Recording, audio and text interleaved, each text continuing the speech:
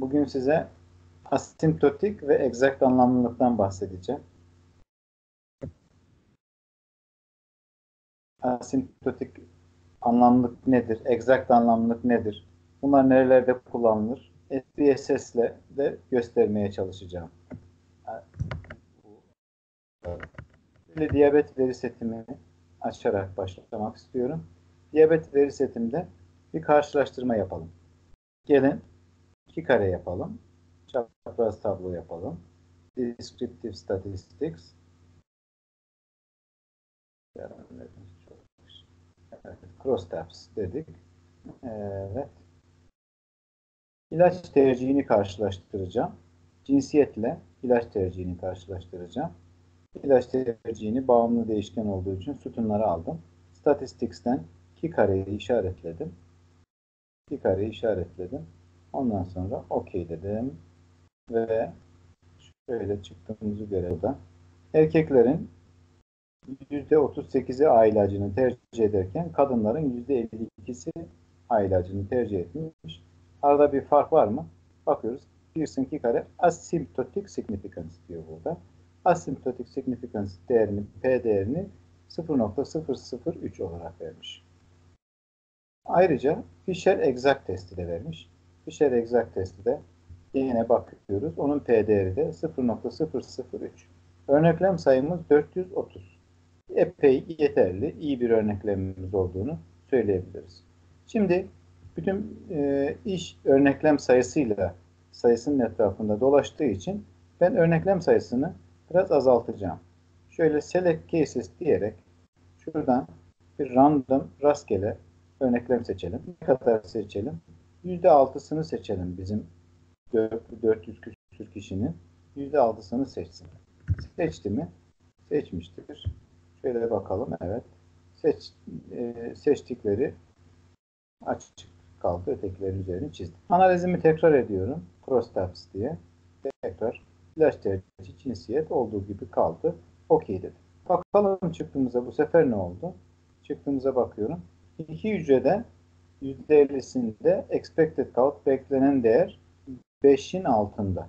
%50 olduğu için bir kare varsayımını da sağlayamadığımız yani örneklemimizin epey azaldığını görüyoruz. 22 kişiye düşmüş. Esas bizim için önemli olan P değerleriydi. Asymptotic significance burada 0.8 iken exact significance bu sefer 1 olmuş iki yönlü. Eğer ben bu select case örneklem sayımı %7 yapsaydım azıcık daha artıralım şöyle. 7 diyelim. Okey diyelim. Ve analizimi tekrar edeyim iki kareyi. Bakalım bu sefer ne olacak. Yine sayı aradaki fark örneklem az olduğu için 28 kişi bu, bu sefer örnekledi. Az olduğu için P değeri asimptotik olarak 0.6 iken exact olarak 0.7. Arada tabii ki ikisi de anlamsız yani anlamlı sınırına hiçbirisi ulaşmamış ama bu onlar anlamlı sınıra yakın olsaydı belki bu anlamlı olurken öteki anlamsız olacak. Dikkat ederseniz exact significance'da P değeri biraz daha yüksek çıkıyor. Şöyle söylesek olur mu acaba? Exact significance biraz daha muhafazakar. Kolay kolay anlamlı demiyor. Anlamsız demeye daha meyilli. Bunu da aklımızın bir köşesinde tutalım. Ve ben sunumuma devam edeyim. Evet.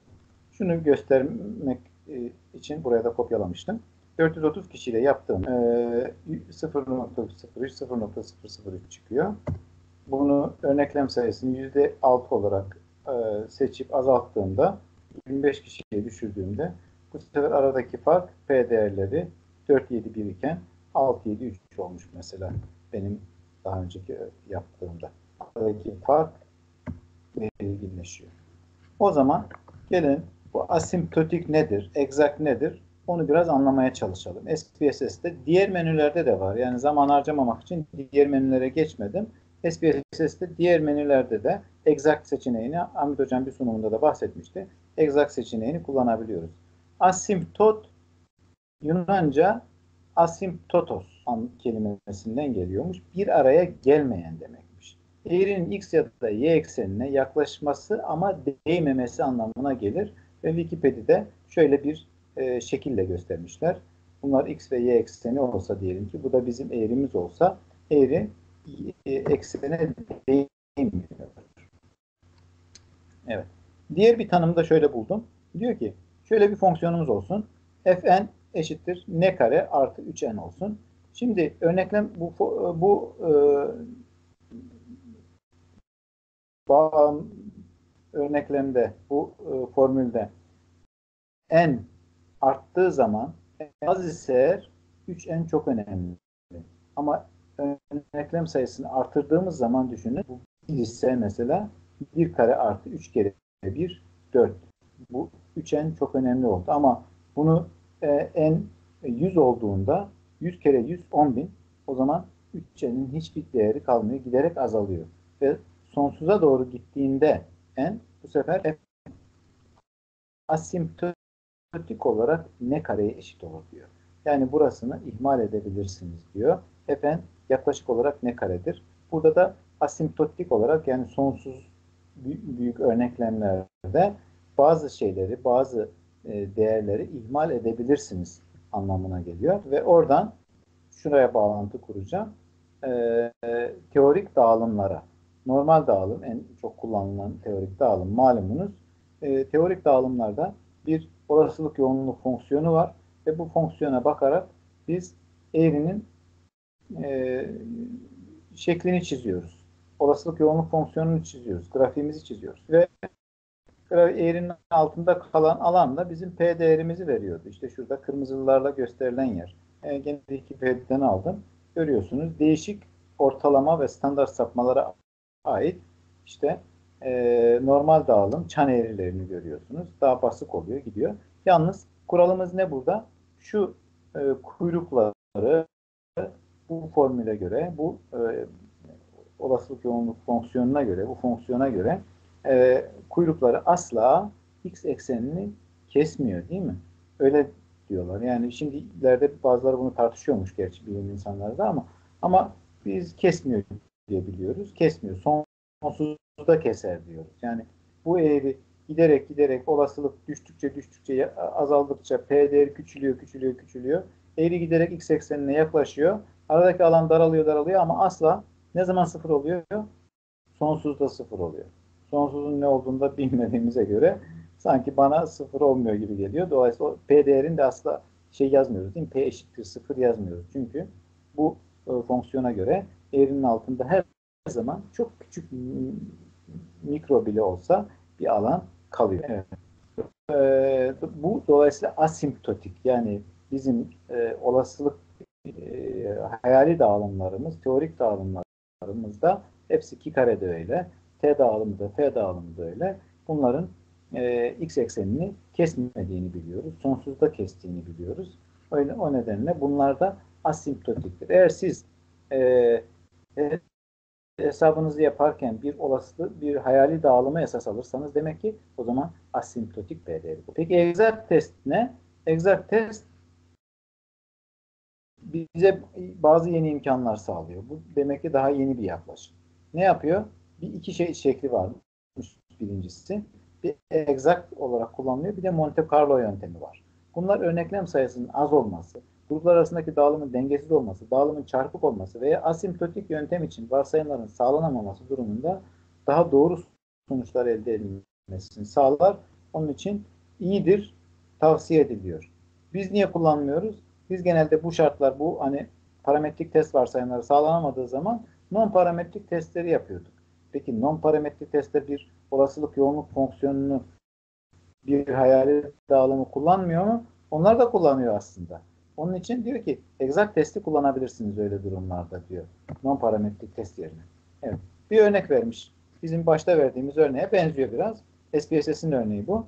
Diyor ki itfaiyeci bir sın e, sınavı var diyor. Sınava beyazlar katılıyor, siyahlar katılıyor, Asyalılar, İspanikler katılıyor.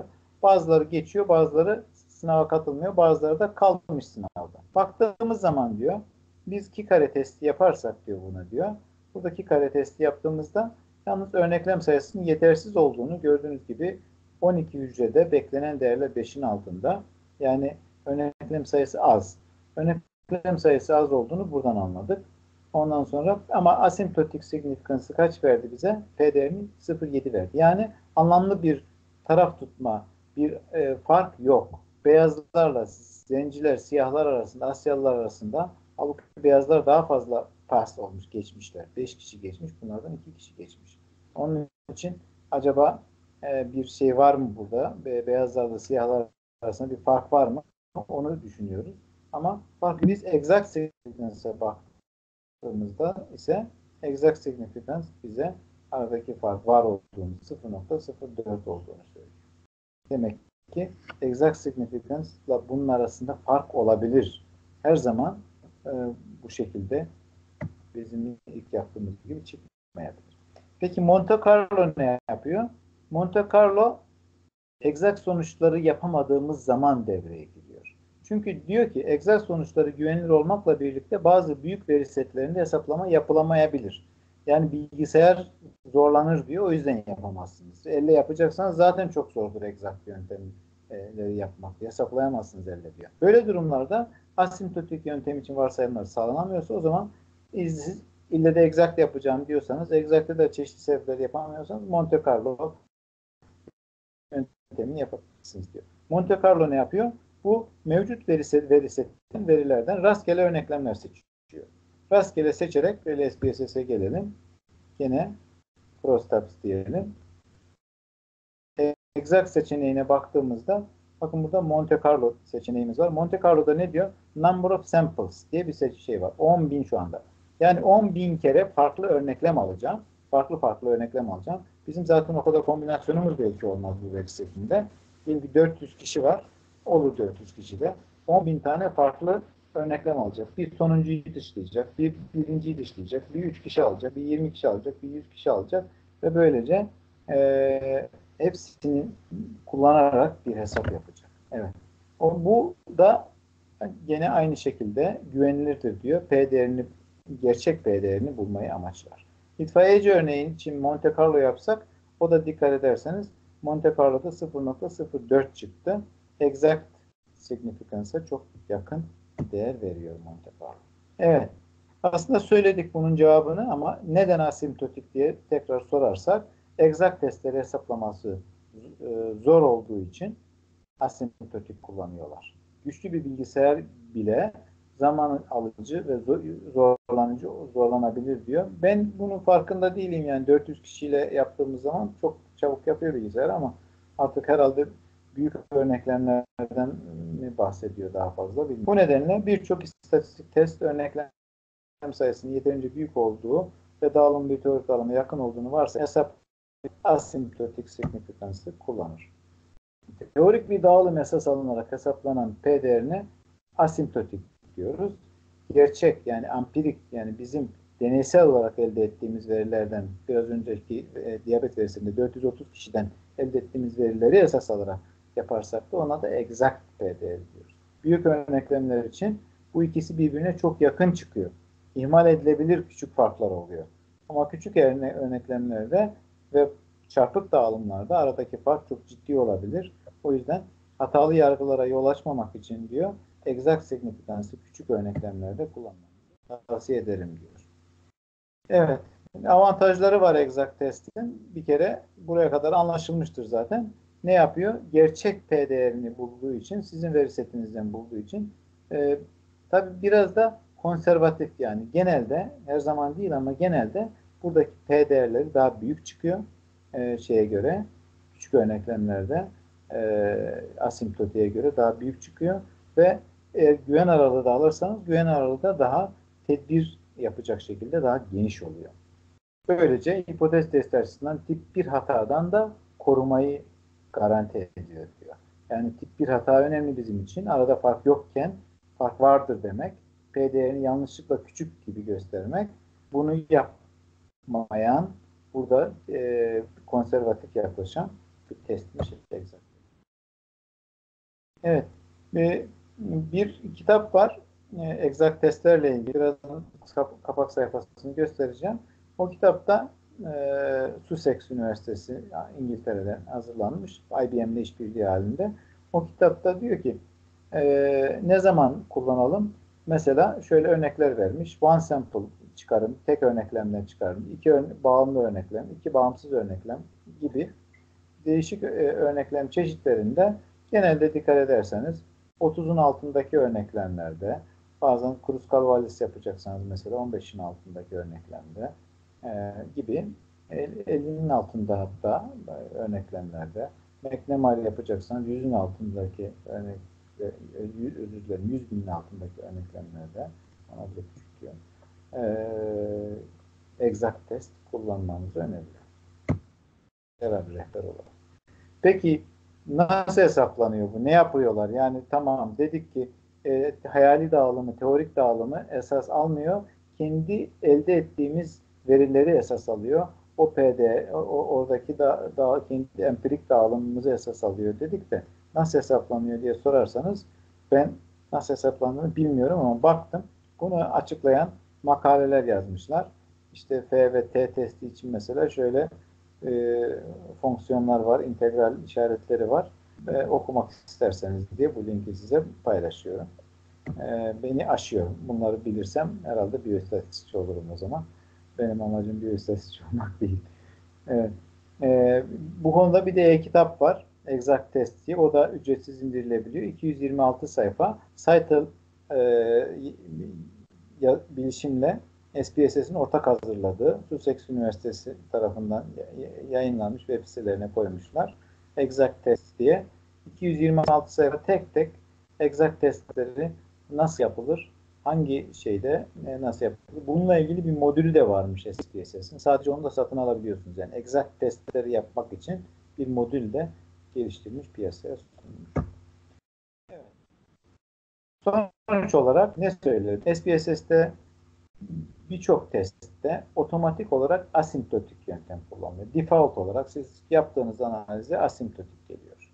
Asimptotik P değerlerinde eğer örnekleminiz büyükse ve dağılımınızda sıkıntı yoksa zaten exact'la benzer yaklaşık olarak aynı P değerleri çıkıyor. Onun için e, sıkıntı yok. Ama küçük örneklemlerde hata olabiliyor asimptotikte. O, ama exact test her zaman yapılabilir. Büyük örneklemlerde yapması zordur. O yüzden yapmıyoruz diyor. Yoksa küçük örneklemlerde her zaman exact test yapmayı tavsiye ediyor.